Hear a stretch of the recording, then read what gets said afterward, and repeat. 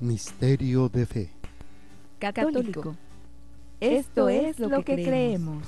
Esto es lo que celebramos. Y esto es lo que vivimos. Misterio de fe. Comenzamos. Permítanme gritarlo.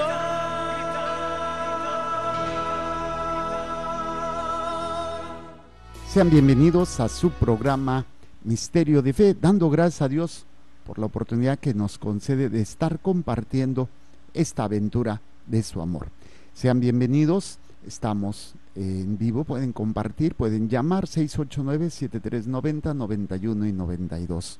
Nuestros teléfonos aquí en Tijuana y en Chula Vista, área 619-420-1538, 420-1428 estamos para eh, pues aprender juntos, eh, orar juntos, eh, meditar juntos, leer juntos sobre el amor de Dios por nosotros. Que no hay otra cosa más importante, óiganlo bien, no hay otra cosa más importante que aprender a orar, aprender a amar, aprender a hablar, aprender a trabajar, todo desde el amor de Dios. Haciéndolo todo desde el amor de Dios, de verdad todo cambia, todo cambia. Hasta tus miserias y pecados los puedes enfrentar de una manera completamente diferente.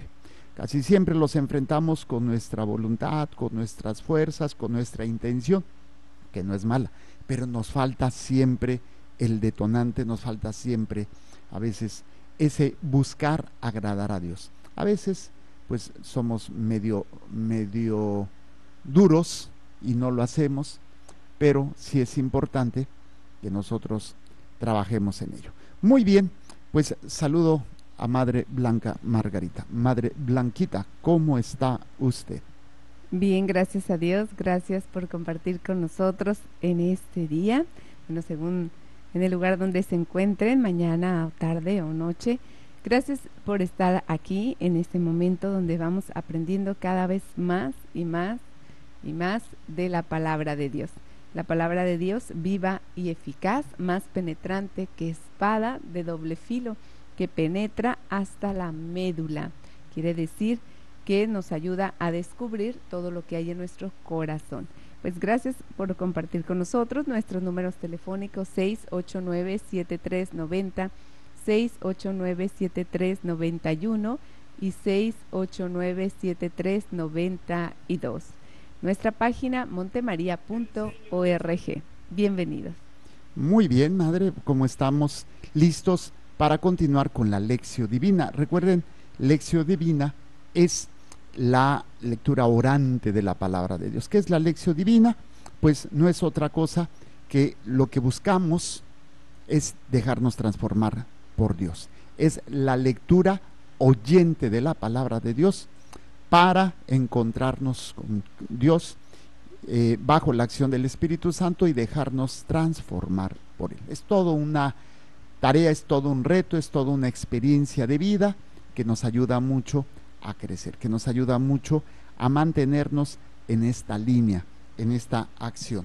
Y vamos a ir leyendo, madre, vamos a ir leyendo los números de el eh, de lo que hemos, bueno, de qué es lo que hemos estado hablando, pues la lección divina no es otra cosa que, decíamos, la lectura creyente de la palabra de Dios bajo la acción del Espíritu Santo para encontrarnos con Dios y dejarnos transformar por Él. Eso es la lección divina. Ahora, dentro de esto de la lección divina, hemos visto y hemos aprendido algunos pasos, hemos mencionado los pasos de la lección divina. ¿Cuáles son los pasos de la lección divina? El primer paso, invocación al Espíritu Santo. Luego, lectura o lección divina, lectura de lo sagrado. Tercero, viene siendo la meditación. Cuarto, la oración. Quinto, la contemplación. Y sexto, la, el compromiso. Eh, vamos un paso a la vez. Estamos apenas en el primer paso, que es invocación al Espíritu Santo, y que es invocarlo es dejarlo actuar, es dejar que Él tome las riendas de mi vida. A veces no lo dejamos porque, porque el, el pecado, las necesidades, el miedo y todas las realidades que nos toca, pues no hacemos lo que tenemos que hacer. pero es una lucha de todos los días, es caernos y levantarnos, caernos y levantarnos. Esta es la historia de nosotros.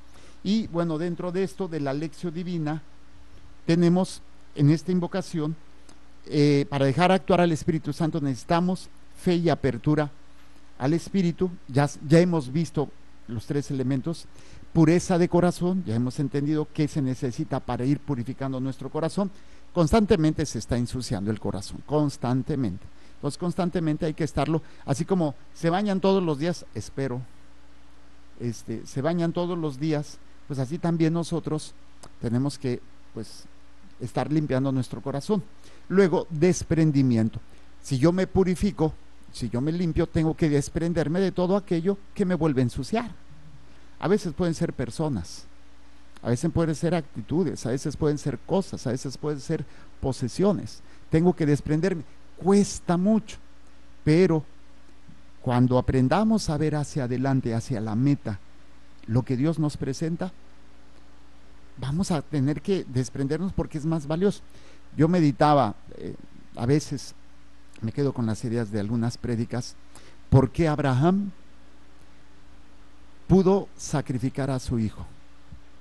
Y salió una prédica también muy interesante sobre eso, porque Abraham se le prometió algo temporal, tierra prometida y descendencia. Qué bonito.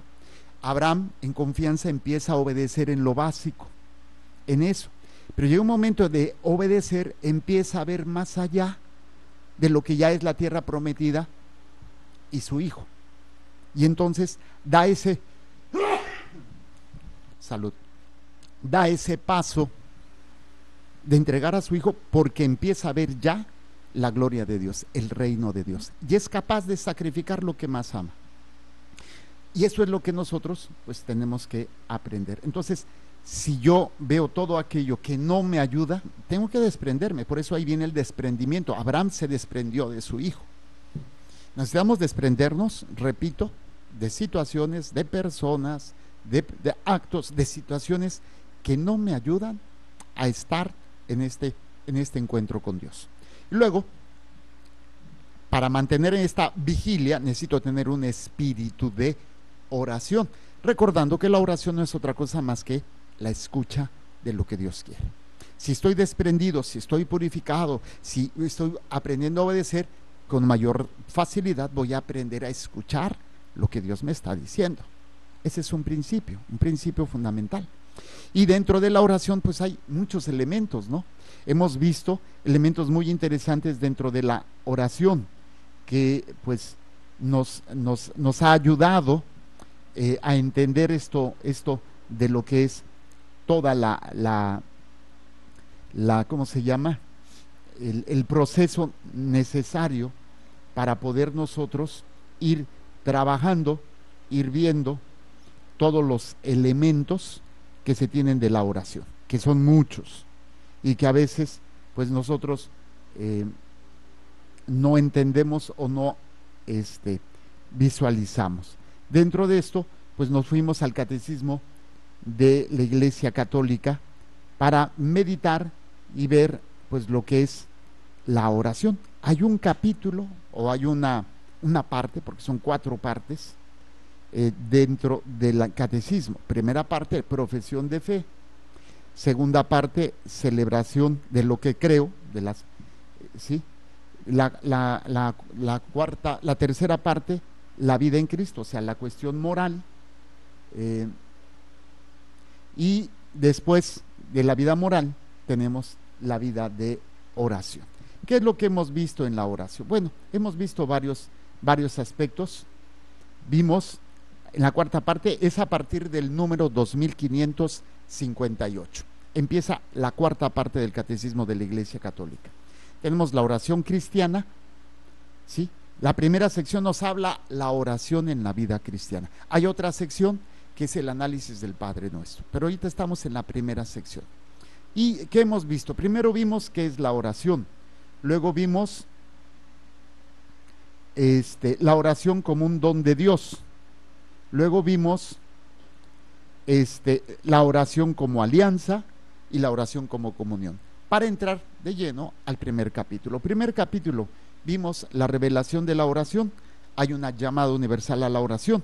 Y luego vimos artículos. Artículo primero, vimos todo lo que es el Antiguo Testamento. Vimos algunos personajes emblemáticos, Abraham, Moisés, David, profetas, salmos, ¿sí? Eh, que se daban en este, eh, en, esta, en este libro. ¿no? Luego, el artículo 2, vimos en la plenitud de los tiempos y vimos cómo Jesús oraba, vimos cómo Jesús enseñaba a orar y luego veíamos cómo Jesús escucha la oración. Después también la oración de la Virgen María, que es muy importante. Artículo 3, que es el que terminamos el, el programa anterior, el tiempo, en el tiempo de la iglesia. ¿Qué vimos? Vimos las formas de oración. ¿Se acuerdan? Vimos la oración de bendición y adoración, la de petición, la de intercesión, la de acción de gracias y la oración de alabanza. Hasta aquí hemos llegado y vamos a empezar, hoy vamos a empezar el capítulo segundo, capítulo segundo, la tradición de la oración, la tradición. Y hacía el comentario que, no, que nos viene con la palabra tradición, si ya habían ustedes oído este término. Y yo creo que sí, si ustedes recuerdan, este término lo hemos oído en diferentes momentos, incluso cuando hemos aprendido de la revelación. La revelación, el acto de darse a conocer Dios, el acto de darnos a conocer su plan de salvación y quiénes somos nosotros, eso se le llama revelación y Dios lo ha hecho en dos ámbitos, la Biblia y la tradición. Entonces, tenemos una tradición desde Jesús y también desde el Antiguo Testamento de oración. Y esto es lo que vamos a tratar de ver, cómo un católico tiene que orar, cómo un católico va a encontrar fuerzas para poder orar. Y ahí es precisamente eh, eh, muy necesario eh, algo que va a ser ver cómo, dónde me alimento, dónde me alimento en lo que es mi oración. La oración es una escucha. Oye, pues si yo no me alimento para poder aprender a escuchar, pues ¿de dónde saco mi oración? De lo que siento en mi corazón. Es una parte de la escucha. Pero yo no puedo orar solamente por lo que siento. Y eso es lo que hacemos. La fuente de nuestra oración muchas veces es el sentimiento, es la necesidad, es el miedo, es los problemas, es la enfermedad, es tantas cosas, que no es que sea malo, pero es incompleto. Tenemos otras fuentes mucho más ricas, recuerden, de escucha. ¿Tú escuchas tu corazón? Claro que lo escuchas. ¿Escuchas tu dolor? Claro que lo escuchas. ¿Escuchas tus miedos? Claro que lo escuchas. ¿Escuchas tus necesidades? Claro, eso no necesitas decírmelo. Todo el mundo lo escuchamos. Por eso actuamos como actuamos. Por eso a veces mentamos la madre y a veces somos tan tiernos, por eso a veces estamos de buenas y a veces de malas, y por eso a veces somos tan nobles, tan altruistas, tan santos y a veces somos tan pecadores y desgraciados, porque escuchamos nuestro corazón y necesitamos otras fuentes, otras fuentes de escucha, otras fuentes para hacer oración. Sí lo hacemos, pero no le doy tanta prioridad. Y vamos a tratar de ir viendo esto. Bueno, eso es nada más como una eh, este, ¿cómo se llama? Como una pequeña introducción a lo que es el capítulo segundo, la tradición en la oración, de la oración, perdón. Vamos a ver el 2650. Madre Blanquita. La tradición de la oración. La oración no se reduce al brote espontáneo de un impulso interior para orar es necesario querer orar. No basta solo con saber lo que las escrituras revelan sobre la oración. Es necesario también aprender a orar. Pues bien, por una transmisión viva, la sagrada tradición, el Espíritu Santo en la iglesia creyente y orante enseña a orar a los hijos de Dios. Bueno, vamos a analizar este número. ¿Sale? Dice, 2650. Por favor, cómprense su catecismo. Hay que comprar el catecismo. Es uno de los libros básicos de todo buen creyente. a veces nos basamos en los aparatejos. Ahorita yo lo tengo aquí porque le presté mi catecismo a Madre Blanquita, que ella también tendría que traer su catecismo aquí al programa. Hasta el SAMI tiene que tener su catecismo ahí, pero no lo tiene, no lo tiene, o sea, no nos sigue. no- yo no sé qué pasa. Ay, no es cierto. Bueno, es, es importante. Biblia y catecismo no pueden faltar en todo buen hogar cristiano. Porque podemos decirnos católicos, apostólicos, pero no tengo la fuente, es, pues difícil. Ok, dice, la oración no se reduce al brote espontáneo de un impulso interior. Fíjense, esta es la primera vez que leo este número. Y lo que yo les estaba, ahí es donde veo que es de Dios. Lo que yo les estaba diciendo es precisamente esto, de que la oración no puede reducirse solamente a lo que siento. Esa es la fuente principal de cuando oramos, ¿sí o no? Es algo que alimenta constantemente. Ahora bien, ¿por qué es importante esto? Porque lo que alimenta esa parte necesaria que debía de ser alimentada con otros ámbitos, que es, lo que vamos a tratar de descubrir, me va a llevar a actuar. Vamos a, a poner un lugar donde, donde les gusta. Bueno, es más sencillo. Yo escucho con la voluntad, por decirlo. Entonces, mi voluntad va a actuar de acuerdo a lo que yo escucho.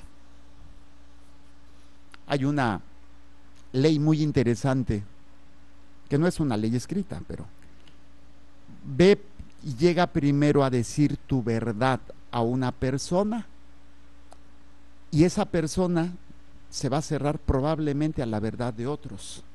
Esto lo hemos visto muchas veces.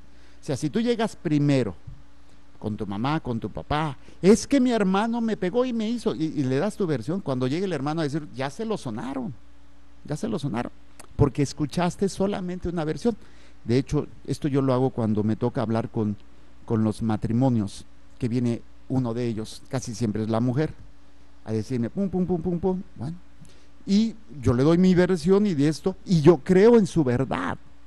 Pero cuando tengo oportunidad, y se puede, porque no siempre los hombres quieren, escucho la versión del otro, ¿sí? Para poder ayudar. Claro, hay cosas que uno puede ver en las actitudes, pero muchas veces, si yo, imagínense, si yo me dejara eh, guiar solamente por lo que me dice, pues entonces mis, mis este, observaciones, comentarios, sugerencias o dirección siempre sería muy parcial. Yo siempre escucho y si no tengo la otra versión, lo que hago es pido a Dios que me ilumine, para que no sea yo, sino Él quien vaya a actuar a través de mí. Pero aquí eh, en, en- el trato con la gente, en los trabajos y en muchas cosas, eh, en las relaciones de familia, ve tú primero con tu versión y haz un drama y vas a aprender a la otra persona que cuando la, la- la- a la cual tú le fuiste a, a- a- sacar todo, cuando llegue la otra persona, casi, casi lo va a matar. Sí, casi, casi. Y desgraciadamente, esto nos sucede a nosotros en nuestro corazón. Primero escuchamos lo que siento y a veces le doy un poco de tiempo a escuchar otras cosas, pero no tiene la misma fuerza. Tiene la fuerza lo que yo siento, lo que yo quiero, lo que yo me gusta. ¿Por qué creen que Satanás por ahí nos ataca? Satanás nos ataca por las apetencias, porque él sabe qué es lo que primero escuchamos. Escuchamos nuestras ne- necesidades físicas, dormir, ay, pereza. Escuchamos nuestras necesidades de sacar el enojo, ira. Escu- escuchamos las necesidades de comer, gula. Escuchamos las necesidades del placer, lujuria.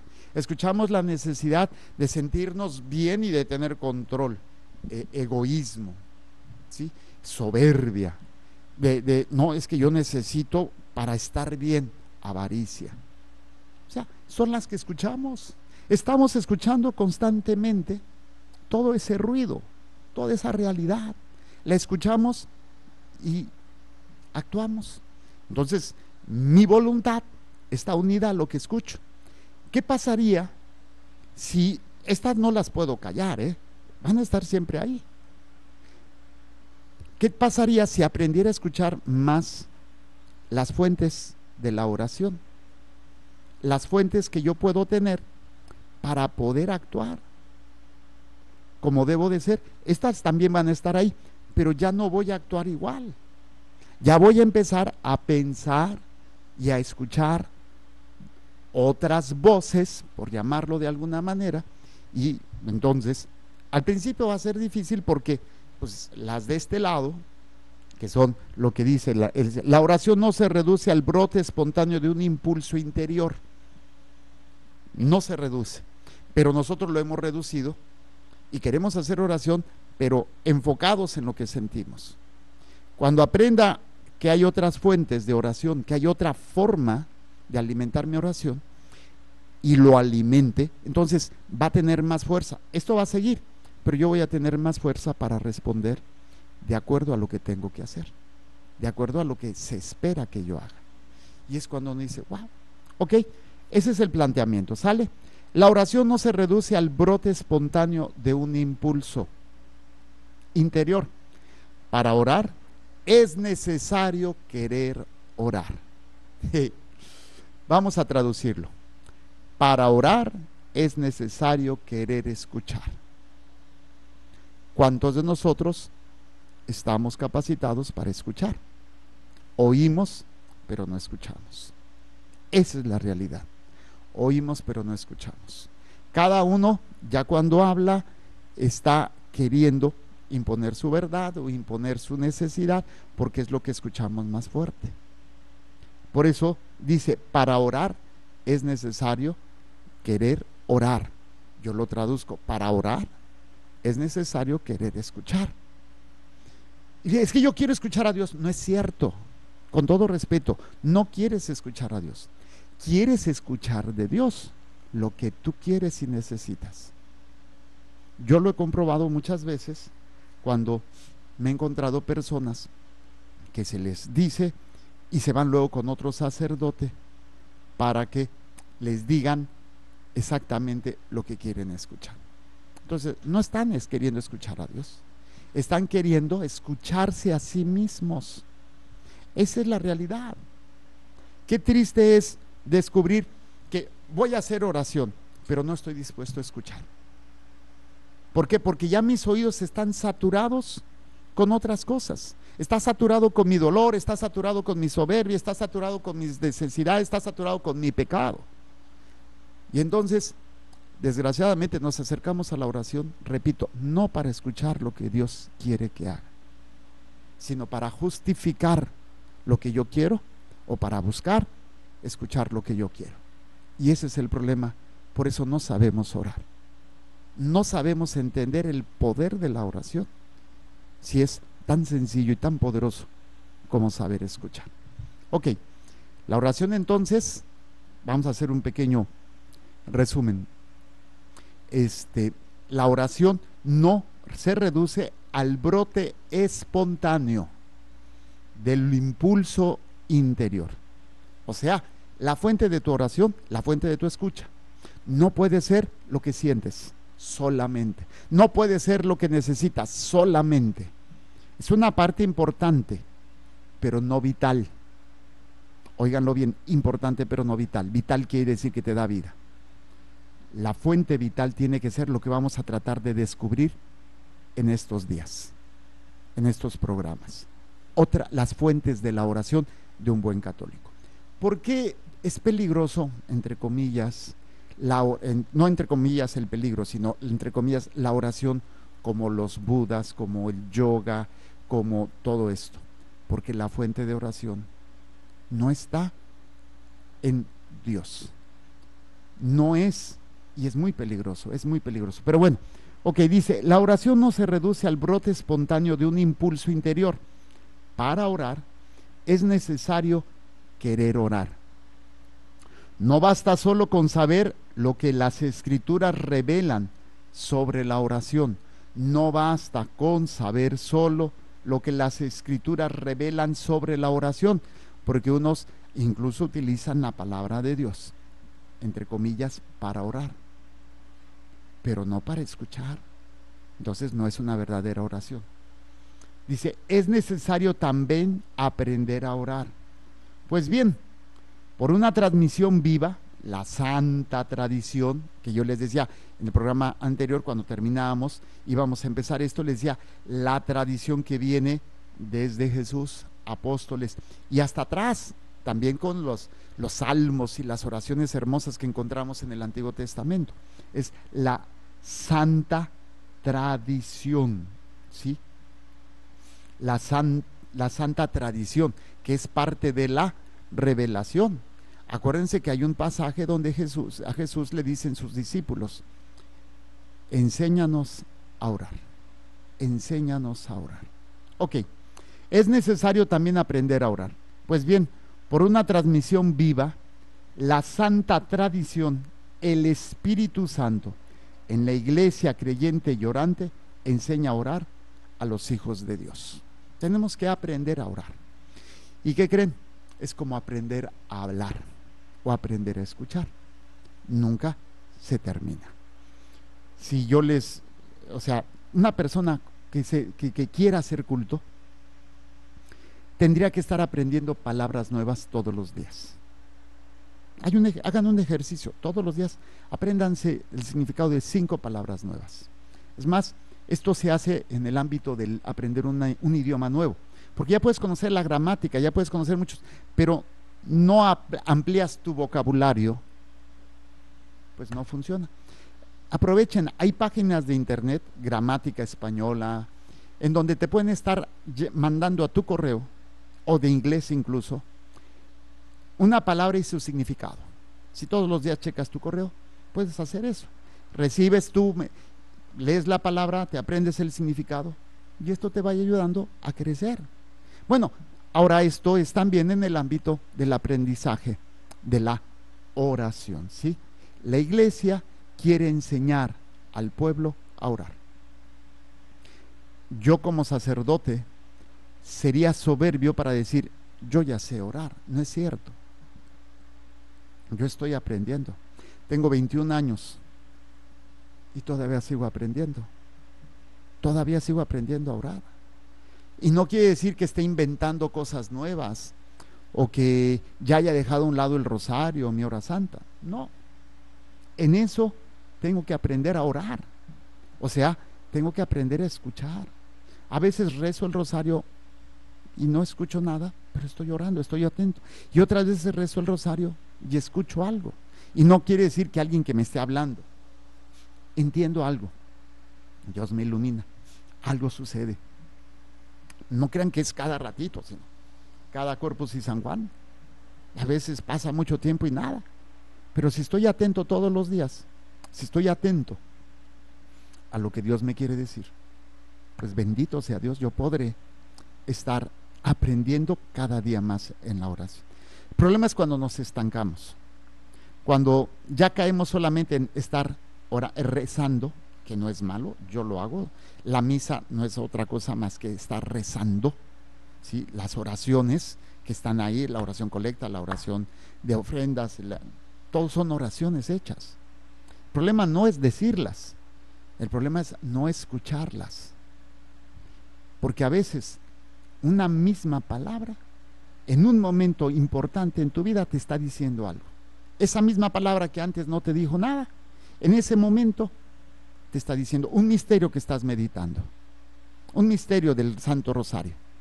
En un momento de tu vida, pues lo rezas. Vamos a meditar los misterios del Santo Rosario, misterios dolorosos. Primer misterio, la agonía en el huerto. Segundo misterio, la, este, ay, se me cuadrapeó segundo la, misterio. La flagelación. La flagelación. Ahorita se me, híjole, al padrecito se le olvida al Padre nuestro. La flagelación. Tercero, la corona de espinas. Cuarto, eh, Jesús con la cruz a cuestas. Quinto, la, este, la crucifixión. Los meditamos hoy, ya. No te dice nada y como que te enfada. No, tú aprende a, a, a meditarlos. Si tú estás constantemente meditando el rosario, la palabra de Dios, y las fuentes que vamos a ver de la oración, en los momentos en que tú estás, vas a estar atento, porque eso que antes no te dijo nada, en el momento que estás viviendo, Dios te está diciendo una respuesta. Pero estuviste atento. ¿Cuántas veces Dios te ha querido decir algo en un momento importante de tu vida y tú no estabas atento a escuchar? Porque ya lo hacías mecánicamente, Padre nuestro que estás en el cielo, santificado sea tu nombre. Venga a nosotros tu reino, hágase tu voluntad en la tierra. Con... Danos hoy nuestro pan de cada día, perdona nuestras ofensas, como también nosotros perdonamos a los que nos ofenden. No nos dejes caer en tentación y líbranos del. O sea, no estás escuchando, estás rezando, pero no estás escuchando. Y obviamente esto implica constantemente estarlo haciendo, estarlo haciendo, porque la loca de la casa, y no me refiero a tu suegra, y no me refiero tampoco a, a, a, a, la mujer cuando está en sus días, no, ni tampoco al marido cuando está de genio, me refiero a la mente. Esa es la loca de la casa. Qué difícil es mantenernos atentos. Yo sé, ahorita, ¿cuántos están atentos y cuántos están de repente así? Y, se les va la loca de la casa. Esa loca, híjole, compadre, nos tiene locos. Y hay gente que se espera, padre, es que no puedo controlarlo, es que por más este, eh, quiero, no puedo, y me, enojo. No te enojes porque ya la loca de la casa ya ganó, ya hizo que tú perdieras la paz y la concentración. Simplemente, pues volver a retomarlo, volver a, y es un ejercicio de ir creciendo. Pero qué difícil es, repito, en cada momento de oración, en cada momento de rezo, que tú verdaderamente estés escuchando.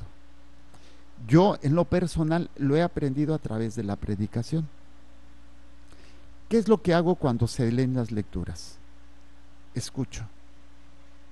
Y hay una palabra, hay una frase, o hay algo que viene a mi mente y de repente se desarrolla toda la prédica. He aprendido a escuchar. Ojalá y siempre lo haga, ¿eh? pero no es cierto, no siempre escucho. No siempre estoy en esa disponibilidad, no siempre, no, no siempre. Pero bueno, estoy en esa lucha como ustedes. Por eso no puedo acostumbrarme a decir, ya recé o ya oré. O sea, reza, ora, pero es como sinónimo. ¿Ya escuché? No, pues no escuché nada. Ah, bueno, pues Dios no te quiso decir nada. Me, da risa porque con estos aparatejos, ¿sí? Eh, eh, lo primero que muchos, la mañana, ¿quién me mandó algo? ¿Quién me? Y estás atento atento a quién te mandó un mensaje o si alguien te contestó tu mensaje anterior o que nuevas salieron de chismes en el Face. Y si no del Face, con tus amistades. Estás atento. Me marcó, me llamó, me mandó un mensaje. Ay, me alegró el día. Y eso haces con una persona.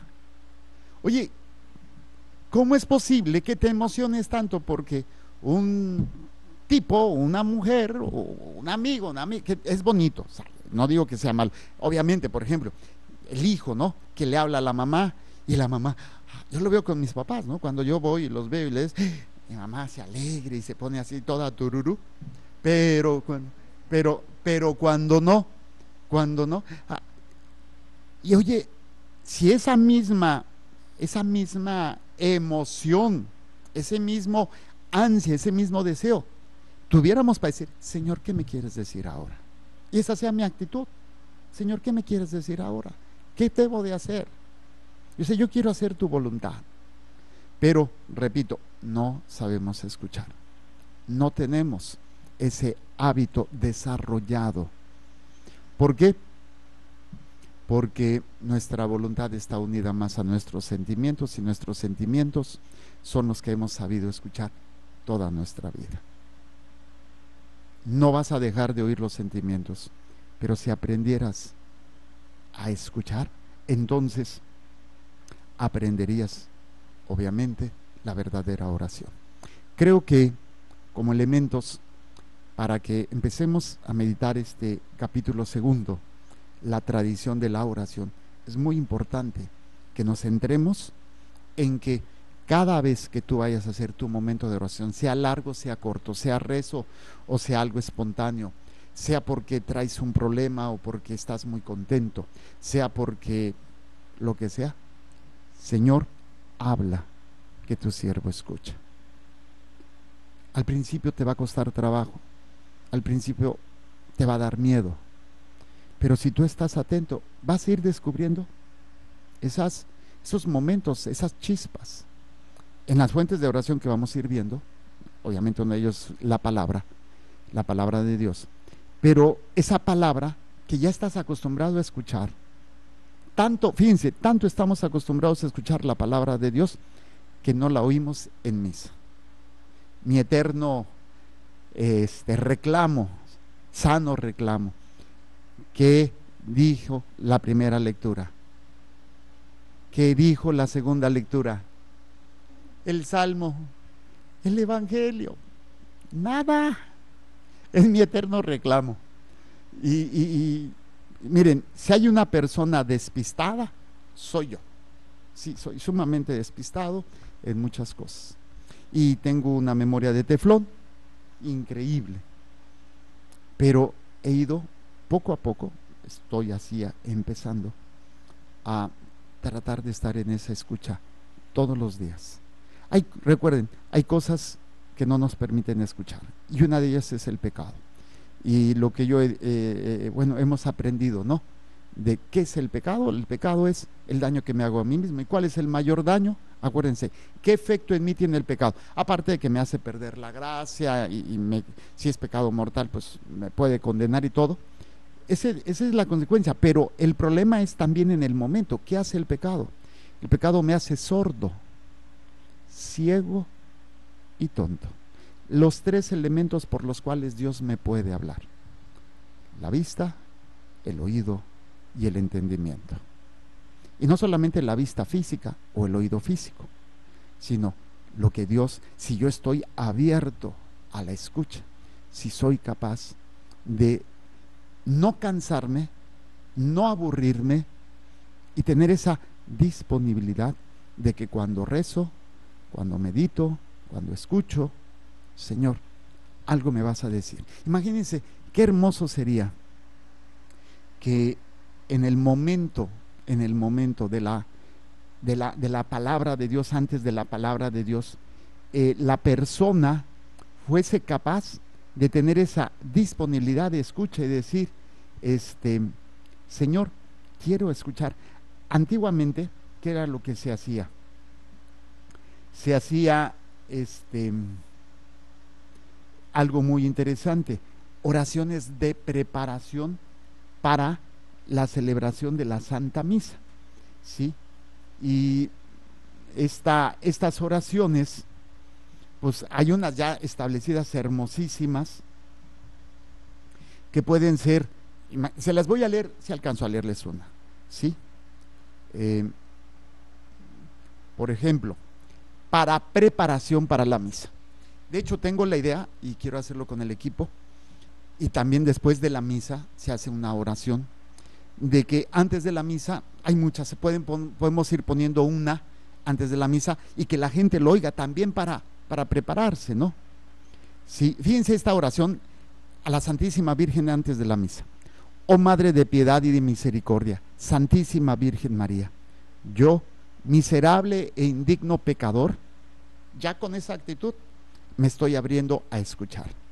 En ti confío con todo mi corazón y afecto, y acudo a tu piedad para que así, como estuviste junto a tu dulcísimo Hijo clavado en la cruz, también estés junto a mí, miserable pecador, y junto a todos los fieles que aquí y en toda la Santa Iglesia vamos a participar de aquel divino sacrificio. ¿Para qué? Ayudados con tu gracia, ofrezcamos una hostia digna y aceptable en la presencia de la suma y única Trinidad. Amén. Una hermosa oración para prepararnos a la Santa Misa. Hay otras también muy, muy hermosas. Eh, esta de San Ambrosio, tengo varias, eh, nada más que está un poco larga, de Santo Tomás de Aquino eh, súplica San José. A ver, déjenme, voy a leerles una parte de San Ambrosio. No, está muy larga, no voy a alcanzar. Dice, Señor mío Jesucristo, me acerco a tu altar lleno de temor por mis pecados, pero también lleno de confianza porque estoy seguro de tu misericordia. Tengo conciencia de que mis pecados son muchos y de que no he sabido dominar mi corazón y mi lengua Por eso, Señor, de bondad y de poder, con mis miserias y temores me acerco a ti, fuente de misericordia y de perdón.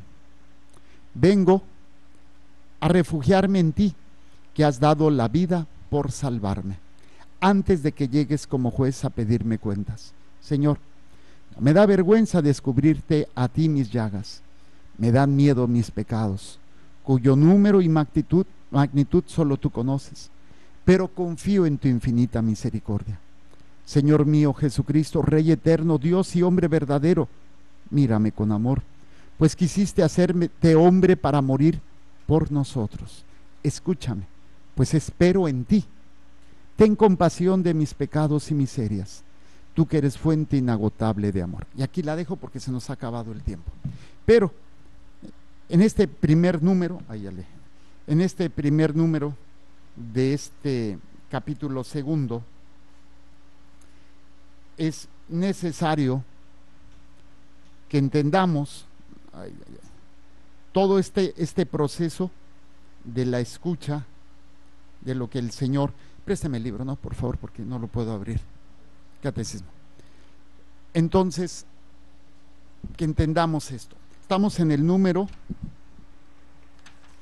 en el número 2650, aquí nos quedamos, capítulo segundo, la tradición de la oración. Y descubrimos, no puedo hacer mi oración en función solamente de lo que siento, porque no sabré escuchar. Ojalá que esto nos abra la perspectiva de una forma nueva y real de poder hacer oración. Que el Señor les bendiga y les proteja, haga resplandecer su rostro sobre ustedes y les conceda su favor. Que el Señor les mire con benevolencia y les conceda la paz. Amén. Jesús, que tu sangre pura y sana circule en estos cuerpos enfermos y que tu cuerpo puro y sano transforme estos cuerpos débiles y que una vida sana y vigorosa palpite dentro de ellos. Amén.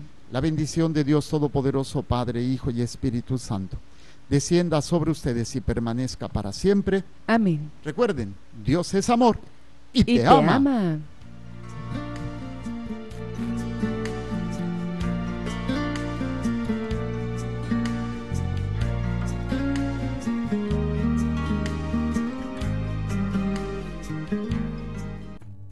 Creer Celebrar. y, vivir tu fe es el reto de hoy. Misterio de fe.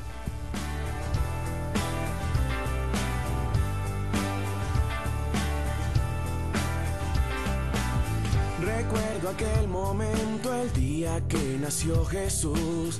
Nació una esperanza y también llegó la luz.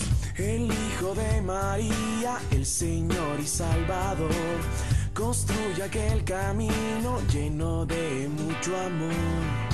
Él es